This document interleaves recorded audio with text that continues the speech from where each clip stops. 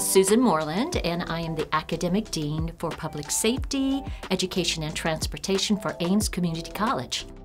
The current Aims Public Safety Institute was built in 2010. Over that time, Weld County has grown tremendously. We need to increase the number of students that we can provide to this growing population. The Gateway building will have general aviation, air traffic control. We'll also have the Unmanned Aerial Systems program. More specifically, we wanted to have a facility where we could have more realistic scenarios and training opportunities for our first responders. We'll have a PSI training yard, and in the training yard, we'll have a SimCity. We'll have a four-way intersection. It will have a traffic light, fire hydrants. So it's going to be a real small town-like environment. So these interagency players can come in and actually work with each other like they would do in the real world. My name is Mike Millsaps. I'm the Executive Director of Facilities for Aims Community College. Search and Rescue, Police Academy, EMS, they will all be using these facilities. So here we are on the main floor. This is supposed to represent maybe a back door to a house. We have a basement, we have a bathroom, we have a toilet, we have a sink. These are not operational, but they're props. So they're able to go through the entire house, clear the house. You know, if somebody is downstairs in this far corner basement, another opportunity for simulated rescue out of the basement. We also have cutaway walls. It gives the opportunity for the firefighters to see what's actually in the wall. So if they get in there and they have to deal with a fire, just a nice cutaway to give them another idea of, hey, if I'm going to go into a, a building and this is real life, what am I going to encounter? So this is the room that has the maze. There's a lot to say about the largest maze in the country. We actually have a pretty strong sound system in here, so they're blaring all the noises you'd hear in real life. It's pretty impressive.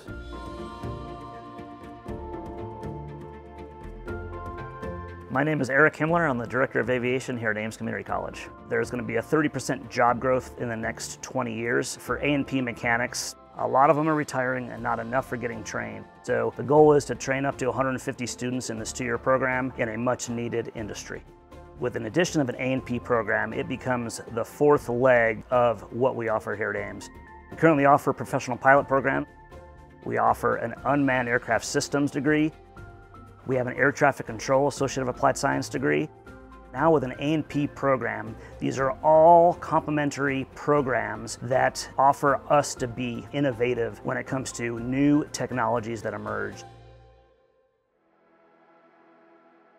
I'm Dr. Nick Spezza. I am the Associate Vice President of Academic Affairs. All of the campuses of Aims, all of the employees of Aims are really here to help our community grow and prosper. And so Aims is now in a position where we can create a center for people to come together to focus on how does industry and education and the community work together to grow that new prosperity that I mentioned.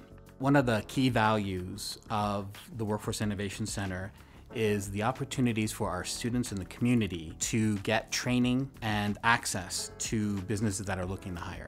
The Workforce Innovation Center will specifically be able to be measured in terms of how many jobs were created, how many new businesses were created. That will create economic impact. We want this space to be viable immediately and agile enough to turn and face what we're not even expecting to come at us in the next five years. And Aims has a really strong history of doing that. My name is John Mangan. I am Department Chair for Construction and Engineering Technology, and I teach in the Construction Management Program.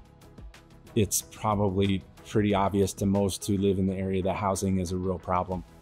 But Alquist is looking to come in and bring in a new system to help address this critical shortage of housing, not just here in Colorado, but really nationwide.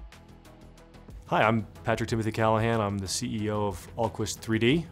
Alquist 3D does a number of things. We are focused right now on construction and 3D printing construction to attack the housing crisis within the United States and around the world. But we're also focused on other pieces of that, like workforce development, which is why we're so excited about the relationship we have with Aims Community College. They were able to give us some space here to get going because we offered up the ability to have our experts be here We have a curriculum that we've been designing that we're going to design with AIMS as well. That's going to get young folks and students really excited about getting into the trades and give them new tools.